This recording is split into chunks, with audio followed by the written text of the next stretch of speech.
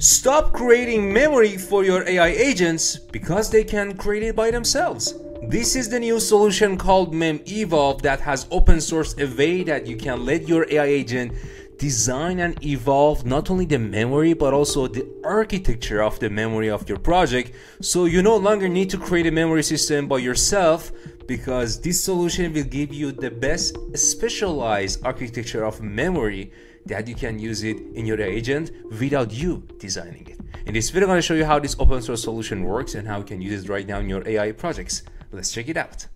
You have seen a variety of different ways that you can create memory for your agent. So that's not a sort of a new topic. And you might have this question that this is already resolved. So what is this paper is talking about? Well, there's one critical problem with all these memory systems that you might have encountered with, which is, as they noted here, this paradigm, that means current designs of memory, is fundamentally constrained by what? By staticity of the memory system itself. So what does that mean? There are a variety of different ways that you can design a memory uh, system. It can be just a simple RAG that you can retrieve past experiences that the AI agent has interaction with the user. So for example, it knows how to answer this new query based on similar experiences, fail or success that happened last time. Or when you go to right now with ChatGPT, for example, it knows some information about you if you have the memory turned on. So it retrieved those past experiences, past information about you, some facts about, for example, myself, MG. So it gave me a tailored, personalized answer using that memory. But the architecture of the memory is fixed. Is retrieving like a RAG is, is best way for having that memory for my agent? Or no, for my use case, I need to do keyword search or keyword plus semantic search. Or I should call some tools, execute some code, or do any other stuff to retrieve memory or design as a memory. There are, again, if you search the literature, there are a variety of different architectures and tools or pieces of puzzle you can stitch together to call it a memory. But how would I know which one is the best one? Well, you don't need to because this solution has fixed that for you. So what MemEvolve is trying to achieve is that let's try to define memory in four pieces. Each memory has encode, store, retrieve, and manage. With defining these four, which I'm gonna explain much more in details, we are going to let the AI agent design by itself what is the best memory for design for this use case? What's the best way to encode? What's the best way to store? What's the best way to retrieve and manage the memory? So as you're using your ai agent your ai agent is designing the system of the memory by itself. And when i say designing the system of the memory or architecture i don't mean updating the memory. That's something that has been solved. I'm talking about the whole architecture of the memory can be redesigned and evolved as you use your agent if you implement this solution. So let's get into the details of that.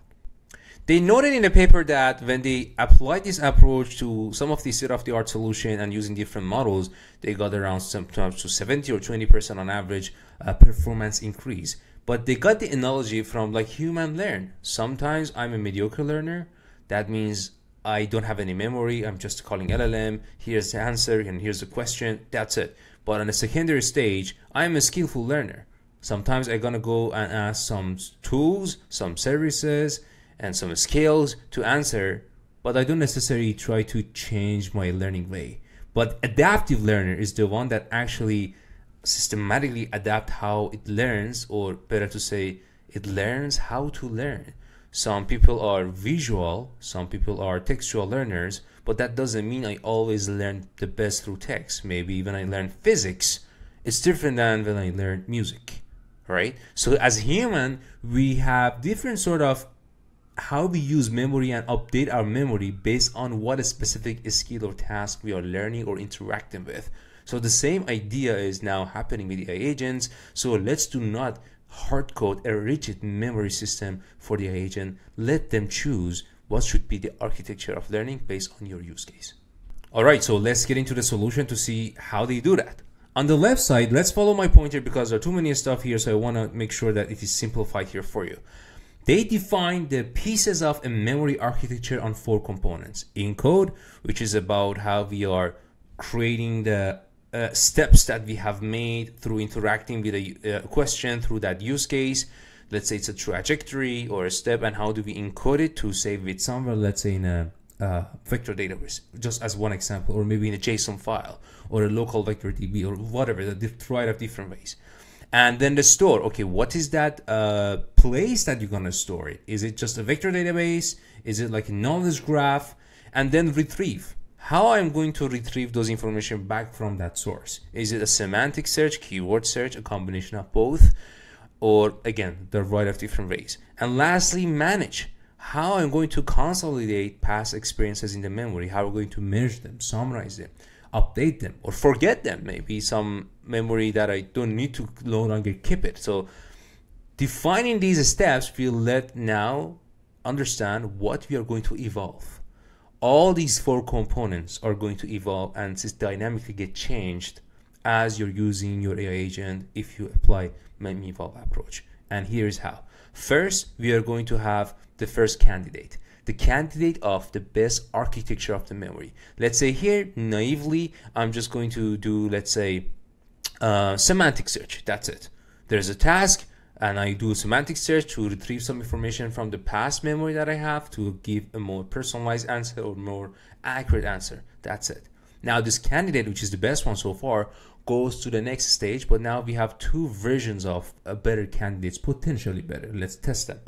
Another candidate will do not only just semantic search, but also it will do hybrid search. For example, it can apply also keyword search to retrieve the information better.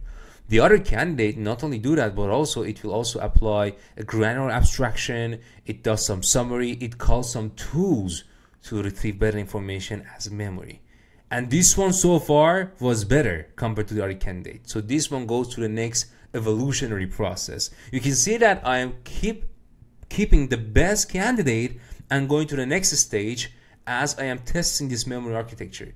And when I go through this iteration using maybe 50 or 100 questions examples that you have for your use case, now this MEM-evolve system will use AI to create a report on what was the best uh, architecture, how it will start to see which candidate has the best performance, best efficient cost, and potentially uh, the best from the latency perspective or delay. And then it will use these logs, all the tasks that you have done and executed over using each different candidates of memory design to create a diagnosis report. That report will tell you what solution worked, which one was too lengthy, which one was the best one, it was, was up to the point, which one was vague. So all these strategy that different candidates use in this report will be captured so it will give this on backend in a very well crafted prompt to an LLM that, hey, we had this initial very naive design of the memory. We got it better and better and better. And here's the diagnosis report of all different type of architectures. Which one is the best one? Take it, go and implement it. So it will code a new architecture of the memory that might use any of these or all of these or combination of all these different approaches to have an updated version of all these four components that we discussed about. That means for one use case, maybe this naive memory is good enough, but for your use case that you're designing right now, there's gonna be a whole new type of memory architecture that I have no clue about it, but this is designed specifically for you based on 100 sample uh, questions, answers, or whatever use case task that you have in your agentic solution to have that architecture getting created for you. And now you have the best memory, you go and have your solution in production. But after a while, if your use case get changed or some new questions or queries come to the agent that are new, you can just run the same solution and update the architecture of the memory. So you have the freeze state that you just keep updating these candidates to find the best one, and then you go to the online stage which you are in production. But you can always go back to the freeze state and start this inner loop of defining what's the best architecture of the memory. For giving you as a reference, they have added also in the paper when they implemented this approach, they try to have different memory uh, architectures that has been uh, previously announced in different papers. They implemented that to compare with MEM-evolve. So these are state-of-the-art memory settings, and then they applied on different use cases. You can see that on MEM-evolve, how was the performance. You can see this got the best score, and you can see the cost, delay, and number of steps. You can compare the same thing with different use cases like Xbench and WebWalker. So again, as they noted, they almost got 70% improvement on compared to the state-of-the-art uh, memory architectures that has been implemented uh, before prior to this uh, paper. And here's an implementation example of that. But before I go through it, let's see a couple of the results that they got when they compared this mem evolve with other memories to see how the models or agents get uh, more performant. You can see that as we increase the number of questions that we ask from the agent, let's say from zero all the way to 150 question, all different memory implementations, they sort of gradually start to get better and better and more stable because at the beginning the agent has no memory, so the accuracy is very dynamic or the cumulative actual accuracy. But as we go further, you will see that they get stabilized. But from almost all of them, all different use cases like ex uh, Xbench and WebWalker, you can see the blue line, which is MEMEvolve, is always has the highest accuracy compared to the other ones. Now, here's actually an implementation of that illustration of this progressive approach. At the beginning, you can see that we are in the freeze stage, encode, store, retrieve, and manage we have no manage here. We just have a, let's say, simple retrieval with using reasoning retrieval and refinement, sort of a RAG. And then with MemEvolve, we have now two candidates. This one use some skills to encode and we store that to a JSON, like embeddings, for example. And now we retrieve, now we have hybrid retrieve, but still there's no manage. This one, something similar. It has more strategy on encode, but it has some guardrails to make sure we are not fetching wrong or distracting information from the memory. So something better. This one got the candidate because this performed better on the sample use cases. So it goes to the next stage. You can see that this now we have some different encoding aspect for both. And then we have a store, which is storing the item list.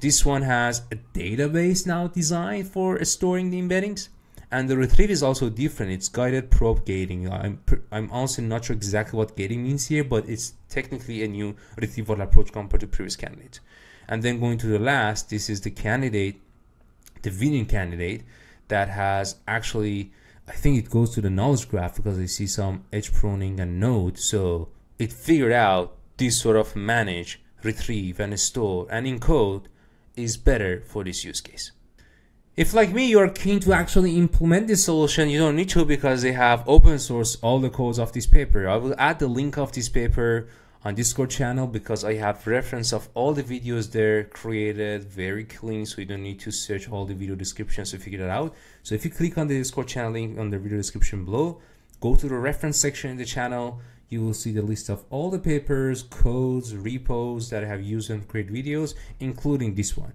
And when you go to the paper, they have added the GitHub link of their code. And if you go there, they have actually added the implemented code for implementing and testing MEMEvolve. I haven't personally tested or played around with the with, which I'm keen to actually give it a shot. And if you're keen on knowing that how I do it, maybe I can record another video. Just let me know because I want to test it for myself to see how it works in action besides understanding the concept. But I found out that actually the concept is very fascinating and sort of makes sense. And I'm pretty sure that you might have face off with how to design the best memory system and there are a variety of different ways for your use case but i figured out having the memory that is designed just for your use case even not by you is really interesting idea. I hope you found this video helpful. If yes i would be very thankful if you click on like icon and make sure you share share your thoughts and questions in comment section below. And subscribe so you won't miss the next video. Thank you so much